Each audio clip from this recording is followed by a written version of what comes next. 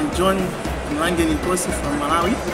I work as a project manager for a cooperative that we, we are working jointly with the UK Co-op College with the support from the Scottish Government. We are looking at four key areas. We are looking at empowerment of women leaders in the cooperative movement. We are also looking at youth involvement in the cooperative movement. We are also promoting amongst cooperatives the importance of uh, renewable technologies. And finally, we are helping to strengthen the cooperative movement through the Malawi Federation of Cooperatives.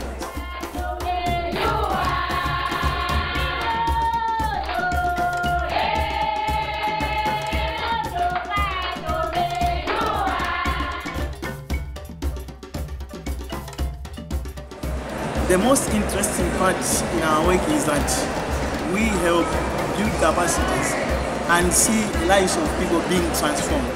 They have access to information and using that access to information, they are able to use it properly. They are able to be organized and you know the future belongs to those people who are organized and through cooperatives people get organized to do things which an individual would not be able to do and they are able to help each other access to markets and access to information, technology. But also you actually see the transformation of the people's livelihood, changing the level of incomes. The main assets, some are intangible, like the transformation of people's life are intangible. But the tangible ones, we've seen people improve through food security. There are also there's an improvement in their housing, the types of houses. Uh, people who are non-members and uh, members of the cooperative, you can tell the difference of their houses. Uh, members of the cooperatives are able to send their children to educate their children. Uh, to me, those I see them as very important assets.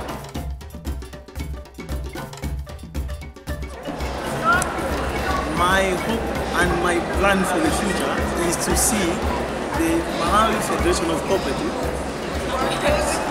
help harmonize the cooperative movement, but also making it sustainable and also making the cooperatives being able to contribute tangibly towards the economic development of the country as well as the social development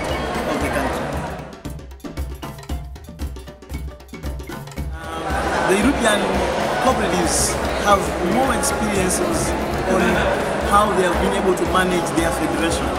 We are looking for both technical as well as financial assistance to this uh, federation of Malawi to make it stronger and also to make it be able to contribute to the development of our